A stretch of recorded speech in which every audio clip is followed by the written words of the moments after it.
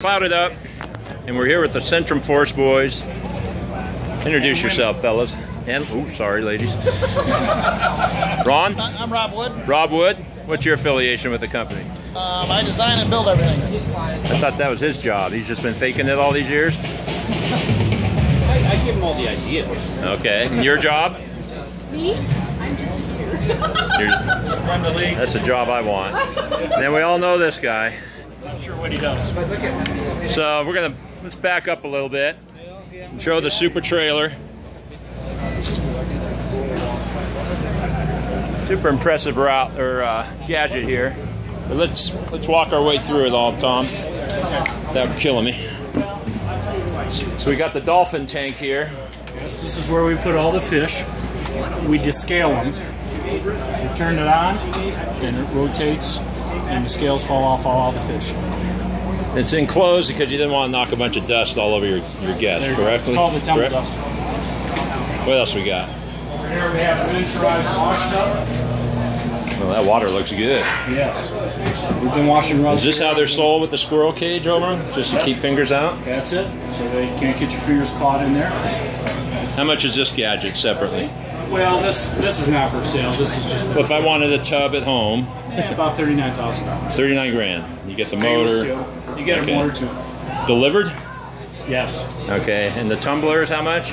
Uh, that ranges from size to expensive, so seventeen thousand. Oh, there are more sizes than that? Yes. What size is that one? This is only a six footer. They go up to 12. 12. And uh, our good buddy Robert Mann has what? Two of these? He has two. And this size? Your good buddy Randy Has- Hyde got one too? And they have these small ones? The little guys like myself will have stockers. And what'd you say the price was on this one? It's about 17000 Well, that's a bargain. Yes. And most people are running those in an enclosed closet. That's the, that is the idea. Otherwise, you, you just can't control it. If you live way out in the rural, sometimes I've seen them put them on wheels or roll them outside.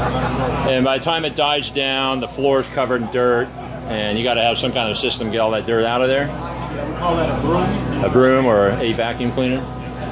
Is this one of those little poodle dryers? What are we looking at here? This thing here. Oh, this is just a little. Ruth was showing me one of those gadgets for drying your dog. Is that it? This is a pump, my son. Oh, that's just a pump. Okay, Yeah. it looks a lot like the poodle dryer. Over here we have the little product that came out just this year. Fringe Plus. And what is it in a nutshell, Tom? It's a creamy substance designed specifically to get dirt or grease out of fringes. So it doesn't brighten them, it doesn't bleach them, it gets the dirt. You figured out a way to make use of all that Guinness foam, in other words. Okay, then you got your uh, a mini rack, and these can be made in any length, right? That's right. This is just a show model. And the price range on one of them? 3200 you get thir- uh, six uh, 13 foot uh, poles like you see here. And with wheels so you can roll them around. That's our standard. And this Quick- here is just to keep it from pulling out or something? That's right. Oh, for up here. All built in America, right? That's it. Okay, almost done. This is uh, probably the shortest Century Max you make, correct? That's right. It's a six footer called the SP6. Greg's gonna catch me in case I biff.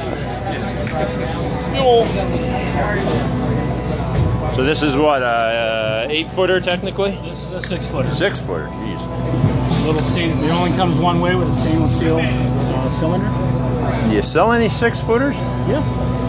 Why wouldn't you go big or go home? Well, for example, you, you have folks that do a lot of six by nines or smaller, and they don't want to tie up the 14 footer. They're into production. And once you put in your plant, it's not on wheels, right? That thing will be all over the place? No, it's on wheels. Oh, really? So that's a huge part of your suspension. Vibration isolators. Now, the one I saw in Ellen's was bolted to the floor, right? With the big pillows. Yep, and they have the uh, vibration isolators. Is that an option? On these, they're sold like this, so you can park them out of the way in the, in the rug plant, or they can be vibration isolators. And The it's bigger, just the bigger machines have vibration isolators that are uh, rubber, and you can Okay. bolt them to the floor. and it's a quick connect on the electricity. That's it. 220. At one point, well, maybe the bigger machine, you were mounting the electric panel on the spinner, right? Um, that was maybe the first No, You don't do that at all anymore? Always off because the vibration. The vibration, potential moisture. The guts right out of the electronics. Yeah. Now, this one doesn't look like it's designed to put the, the water through the center to do the constant flushing, or is it? Yeah, you can. Yeah, you can either. Just hold your hose? Yep. But some of them have a, a port there. Yep, you can have hole in the door. Just the hose yourself, so you're getting where you. And I see a drain down there, There's two of them. and that's a drain as well. And these range in price from This one's around 22, and then the other one's 40 to 50,000, depending on the model. that's a big jump, 22 to 40. It's a big machine.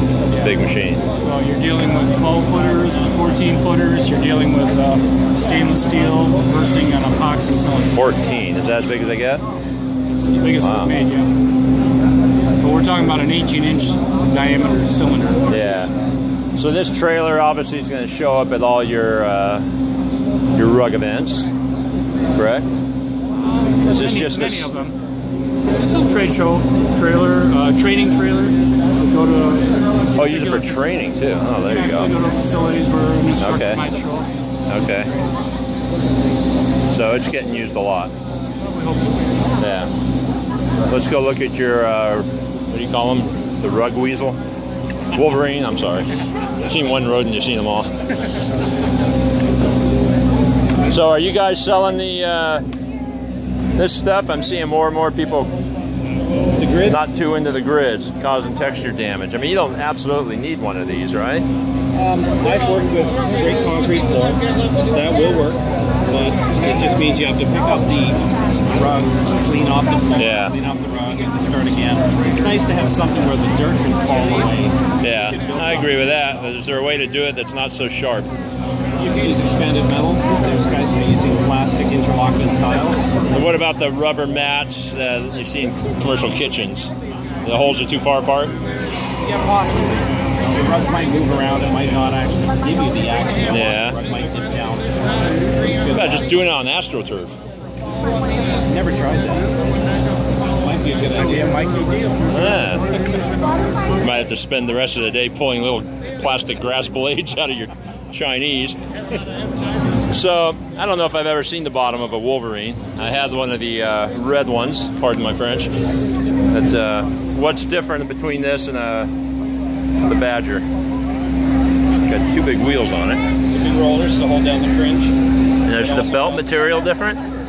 Uh, yeah, in some cases, it's proved to be that way because we've replaced uh, belts for rugs and badgers in the past. But they're designed to be replaceable. I assume they eventually fray out, fall off. Yeah. yeah. so that's just the way. Now you guys have something, maybe it's built into that, but something that kind of holds the smaller rugs down for you. Wasn't there something called the Rug Helper, or the Wolverine Buddy? Yeah, that's not here. Other than that, is there anything else you produce that's not here? Any more than a rinse ringer made by uh, our Moore division or a Rollajet made by our Moore division. These Okay. are big machines, 20,000 Yeah, pounds. yeah. They're going to carry them around. What are you towing this thing with? Beautiful truck right over there. Truck right over on the other Was that Econoline big Ford thing? No problem. Super Duty, diesel. Hey, you got a whole truck mount right here. The Vanguard 31. The generator that way we're self-contained. We can uh, operate everything electrically. What's in the little box up there? You don't even know, do you, Greg? Connection that goes through the Ah, I think it looks like it's a Guinness cooler to me. Oh, that's much bigger. That's inside. Yeah. well, the thing is a work of art. So I talked you into coming to this event, you know. You did? Yeah. Was it worth it so far? You had a good time. Huh? We got a chance to see you speak and try to try to win an event. Yeah. Just to see what happens. But have you sold anything yet? You, you never quite know, huh? Tons of. Yeah, a lot of interest. That's the most you could ask for, right? Got one more day to go. Never really sold anything at any. They get back to you later. Yeah. There's so many things for them to look at. They want to look at everything. That's Yeah, it's a lot to take in. Yeah. Put a nice little venue out here with all the. Well, I haven't been to the Florida show, but I always heard the the traffic was pretty low. But I've been impressed with the amount of traffic yeah, here. I was here two years ago. Oh, you were? Very yeah. And the only reason we did come is our engaged conversation regarding what you expect to happen. Yeah, I think it panned out. The inside's really busy too. Yeah. And today seemed to be a different crowd than yesterday. Normally it's, you see the same. It's thread. wildly interesting to me that you have a number of folks that are thinking ahead of what they're going to do. Yeah. You got carpet cleaners, you got restoration contractors, and I think the economy is giving them a little boost. I think in terms of Yeah, I'm seeing it everywhere. It's pretty nice. Well, all right, boys. Excellent tour. Okay, thank you. Thanks.